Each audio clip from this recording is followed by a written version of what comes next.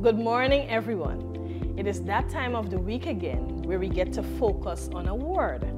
So, welcome to our second edition of WWW Wednesday's Word to the Wise. Today, we will be adding one more letter to last week's word I, making it into if. The word if is a conjunction but is most often used as a word introducing a conditional clause on the condition or supposition that, or in the event that. We often use if to introduce possible or impossible situations or conditions and their results. The situations or conditions can be real, imagined, or uncertain. The clause if I can be accompanied by either the use of was or were. Here is how they can be used. If I were is used when the subject of the sentence is referring to a hypothetical or imaginary situation. For instance, if I were good at math and science, I would have become a doctor. On the other hand, if I was is used to refer to a situation that actually happened in the past.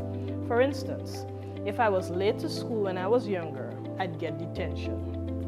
Let us now make a biblical application to the word if. By now, as we would have established, it is used as a conditional.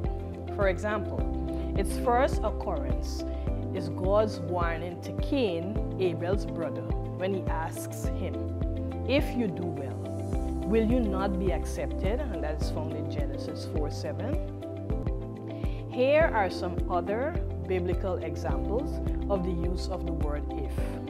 If you love me, keep my commandments. If my people, which are called by my name, shall humble themselves and pray and seek my face, and turn from their wicked ways, then will I hear from heaven and will forgive their sin and will heal their land. If I speak in the tongues of men or of angels, but do not have love, I am only a resounding gong or a clanging cymbal. If I have the gift of prophecy, and can fathom all mysteries and all knowledge. And if I have a faith that can move mountains, but do not have love, I am nothing. If I give all I possess to the poor, and give over my body to hardship that I may boast, but do not have love, I gain nothing. If I remain on this platform, I will not be able to come again.